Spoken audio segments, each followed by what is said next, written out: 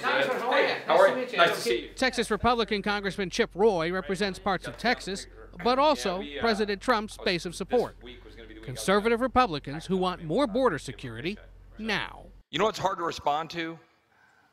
It's hard to respond to my constituents at home who are witnessing the theater of the absurd.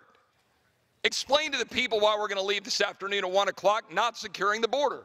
While the latest CBS News poll shows 66% of Americans don't think a border wall is worth the president declaring a national emergency, nearly three in four Republicans think it is. Roy wants the president to keep fighting.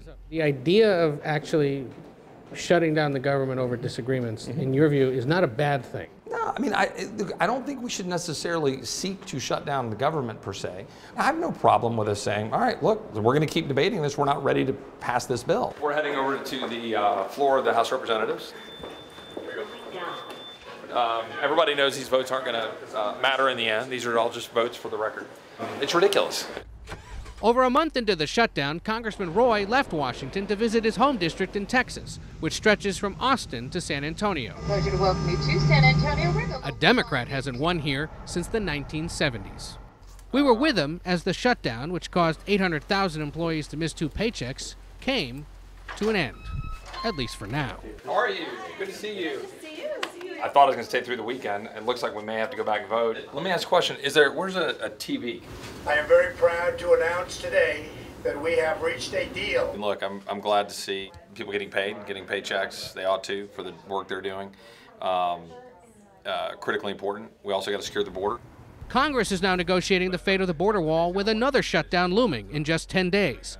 Roy, a first term member of the minority party in the House, has little say in what goes on in Washington. We have a handful of dinosaurs who sit here until their octogenarian years screwing up the country. What can a guy like you even do?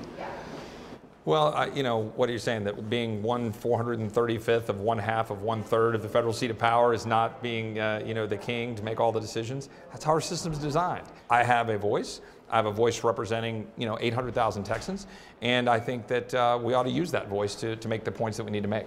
It makes absolutely no sense to the American people when they watch what happens in this body and they wonder how the people's house leaves them with an unsecure border. What do you want to hear from the president?